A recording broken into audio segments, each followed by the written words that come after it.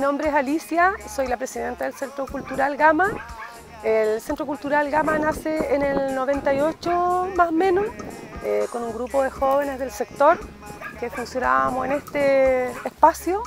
eh, que era primero un basural y nosotros lo transformamos en un hermoso mirador. Bueno, nosotros acá en el Centro Cultural eh, hemos realizado distintas actividades de tipo cultural, recreativo, educativo para los niños del sector y desde acá eh, hemos impulsado hartas actividades en, distintas partes del cerro, eh, en donde en algún momento llegamos a, realizar esta actividad de reggae en movimiento. Hola, mi nombre es Francisco, en realidad todos me conocen como Pancho, ¿sí? Bueno, y mm, lo que yo podría contar sobre la, historia, que, lo que el Festival del Reggae tiene que ver con, con su inicio. Al principio, eh, con con gente de la banda nosotros decidimos promover nuestra propia banda y generar espacios porque entre esperar que, nos invitaran a tocar y que, que nos, propusieran un espacio eh, era bien difícil, pues nadie nos conocía y todo.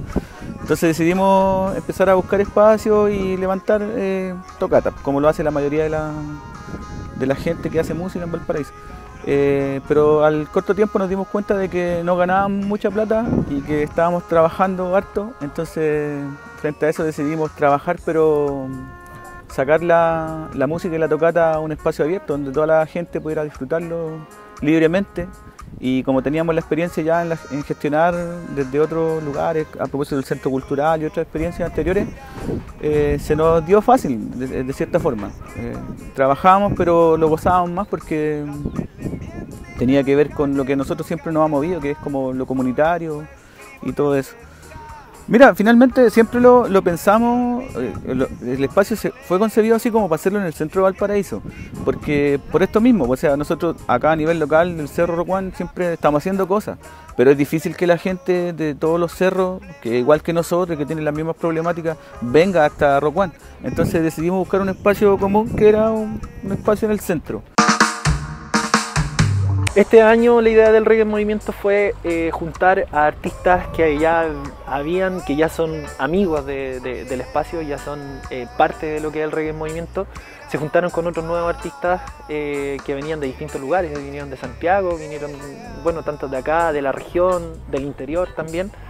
Entonces una red de trabajo entre organizaciones, entre la organización, entre los artistas, entre la misma gente que llega a colaborar en donde se cumple este tema de, resignificar el espacio de la calle en torno a actividades que son colaborativas, que no buscan eh, un fin de lucro, que no buscan eh, generar una ganancia eh, económica, sino que más bien juntarnos en un espacio común, disfrutar de la música en familia. y poder compartir una tarde de distintos estilos, no solamente del reggae, eh, reggae, se junta también, han, participado bandas de ska, han participado MCs, han participado eh, cantautores, eh, este año estuvo Dani Millaleo, que es cantautora mapuche, estuvo Nicole Rossetti, que, desarrollan desde su arte otros estilos, pero que se juntan en esta intención de generar un espacio colaborativo, un espacio en donde las relaciones sean de eh, reciprocidad, relaciones de eh, complementariedad eh, en un contexto artístico que está súper súper invadido por un tema más bien de lucro, de sobrevivencia de los mismos artistas.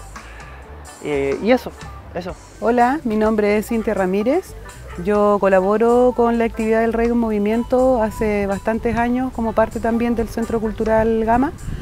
Eh, y a modo de resumen, la idea de este festival y de haberlo sacado efectivamente de, los centros nocturnos y hacerlo parte de, una actividad familiar, eh, considera mm, la participación de los artistas, diversos artistas que han pasado por estas actividades, que mm, comprometen un sentido social dentro de la actividad, con un discurso social claro, donde se invita también a las familias y a los distintos participantes de este evento eh, a generar una crítica social eh, en torno a las realidades y contingencias que afectan a nuestro país, eh, desde una visión muy clara, muy comprometida y eso involucra también la participación que ellos presentan desde el desinterés económico y de hacer esta actividad una posibilidad de, abrir los pensamientos que finalmente están generando las familias y desde los niños que participan hasta los distintos eh, edades, estilos, música y, representaciones artísticas que acá se dan,